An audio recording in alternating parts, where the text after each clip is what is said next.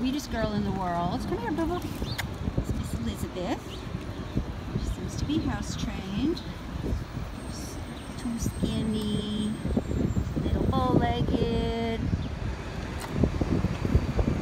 She is so sweet and so gentle and just so adorable.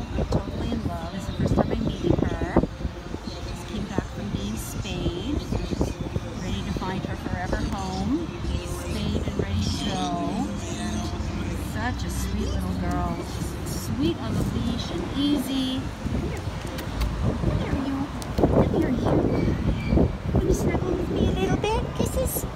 I got some kisses before. She is just the sweetest, sweetest, sweetest thing. She's bouncing in her kennel, ready to go for a walk. She needed to go potty. She is just a sweetheart. Miss Elizabeth. Miss Elizabeth, want one more treat for your finale?